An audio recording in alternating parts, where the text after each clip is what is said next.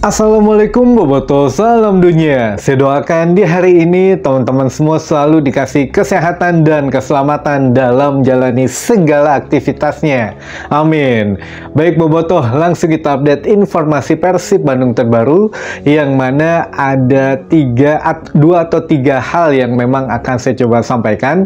Tapi ini perlu uh, konsentrasi penuh nih buat teman-teman Boboto biar tidak terlewat untuk beritanya dan mungkin di kemudian hari tidak ditanyakan lagi gitu ya. Jadi sekali nonton sudah nangkep apa pesan yang akan coba saya sampaikan gitu. Baik teman-teman, langsung saya mulai saja di pembahasan yang pertama. Ini langsung di poinnya dulu saja mengenai berburuan atau perburuan pemain Persib Bandung yang agak sedikit di luar uh, Nurul lah gitu ya. Jadi di posisi striker katanya Persib Bandung ada juga uh, ini mungkin kalau asing itu datang dari Bojan Hodak gitu ya teman-teman.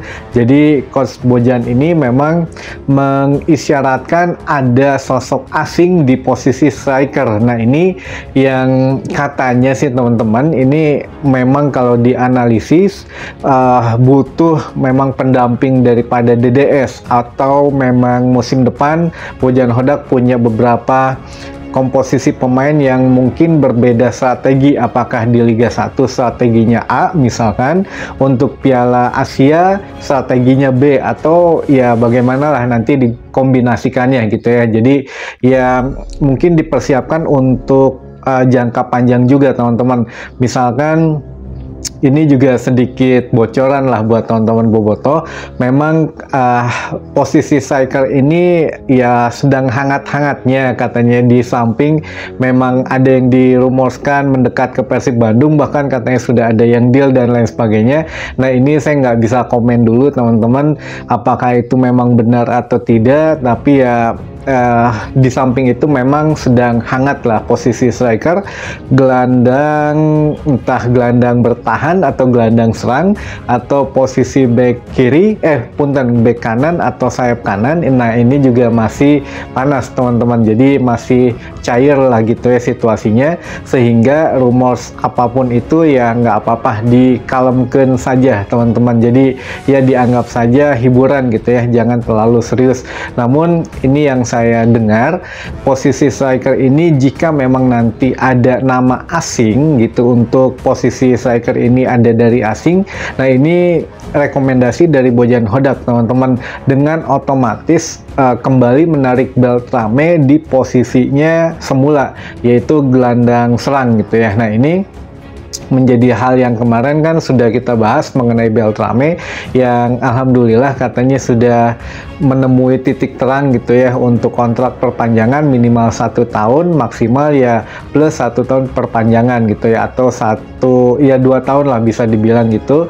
Namun uh, Bojan Hodak sendiri ketika dikonfirmasi ya memang Beltrame kemarin-kemarin itu sedang intens sekali berbicara dengan manajemen mengenai perpanjangan. Dan ya seperti kemarin yang sudah saya sampaikan uh, alhamdulillah lah gitu ya Beltrame setidaknya musim depan ya tetap berseragam Persib Bandung gitu walaupun posisinya nanti akan ada perubahan. Nah ini juga saya nggak nggak tahu apakah memang di gelandang serang ini kita tahu ada pemain nomor 9 gitu ya yang digosipkan ke luar Persib Bandung atau dilepas Persib. Nah ini juga saya tidak bisa mengom tidak bisa mengomentari banyak teman-teman apakah benar atau tidak. Tapi yang jelas ya ada beberapa strategi khusus mungkin ya dari Bojan Hodak sehingga ya membutuhkan beberapa pemain di beberapa posisi gitu. Nah jika misalkan yang uh, gelandang serang. Ini memang awalnya kan posisinya bisa gelandang serang, bisa uh, striker, bisa second striker. Namun jika memang betul ini dipinjamkan atau memang ditebus transfernya oleh klub lain lah gitu ya. Nah bisa jadi ya Beltrame kembali ke posisi gelandang serang dan striker memang ada duet untuk DDS karena uh, apa ya ini juga DDS terlalu apa terlalu sedikit nyaman nih untuk menjadi seorang ya striker tunggal gitu ya. Jadi memang harus ada tandemnya. Entah Bojan Hodak mungkin sudah mempunyai pengalaman di Asia, cara menghadapi tim-tim Asia tuh bagaimana mungkin gitu ya. Jadi ya bisa jadi arahnya ke sana. Jadi kalau di Liga 1 ya bisa dimainkan langsung. Kedua bisa juga dicadangkan. Nah, ini yang memang masih cair lah suasananya. Kita juga belum uh, sempat ngulik banyak, tapi setidaknya sudah berhembus kabar seperti itu. Set, uh, uh, takutnya saya keceplosan. Jadi kalau striker memang ada nama asing, cuma namanya saya juga masih samar-samar siapa gitu ya. Jadi belum bisa dikabarkan. Striker dan posisi yaitu gelandang uh, minimal gelandang bertahan untuk pelapis Dedi Kusnandar gitu ya. Jadi Dedi Kusnandar ini memang membutuhkan satu kedalaman squad di posisi dia. Apakah memang ya AA itu kembali dilepas atau bagaimana? Kita juga nggak bisa komen. Namun yang jelas perlu di situ. Jadi ya kalau dua nama asing ya saya juga masih masih samar lah. Tapi yang jelas yang asing ada salah satu hembusannya itu untuk striker justru ini yang di luar disangka-sangka lah yang tidak disangka-sangka oleh kita gitu ya. Ternyata yang dirumorskan pemain yang kemarin degradasi gitu ya ternyata yang datang namanya asing. Nah ini ya ya nggak tahu lah mungkin nanti sedang diobrolkan dulu. Jadi sekarang tuh teman-teman ya untuk beberapa pemain yang memang sudah habis kontraknya ada yang memang sedang membicarakan dengan manajemen secara intens, secara serius gitu ya, mau bagaimana.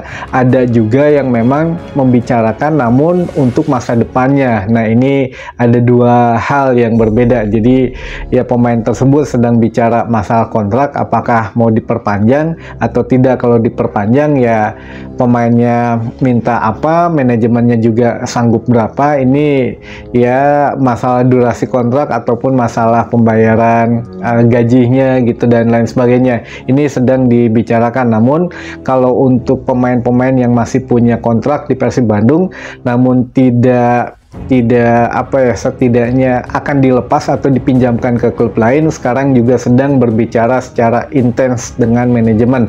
Ada yang sudah selesai ada juga yang masih belum. Jadi ya memang momen liburan ini semuanya dimanfaatkan.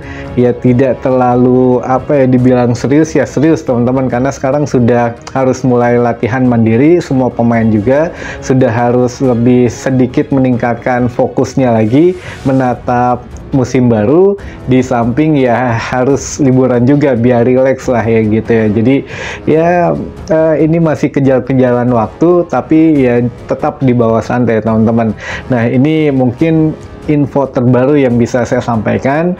Ya mudah-mudahan ada informasi terbaru lagi secepatnya gitu ya. Tapi yang jelas masalah striker ini baru saya terima dan ya setidaknya baru dengar lah ya nanti ada yang ini. Ya setidaknya saya baru dengar katanya ada nama asing masuk. Nah ini saya nggak tahu siapa. Dan ya kita tunggu saja lah untuk updatean selanjutnya teman-teman. Baik mungkin itu dulu saja informasi yang bisa saya sampaikan di hari ini. Mudah-mudahan menambah informasi dan wawasan teman-teman Boboto semua. Sampai ketemu lagi di informasi selanjutnya. Wassalamualaikum Boboto salam dunia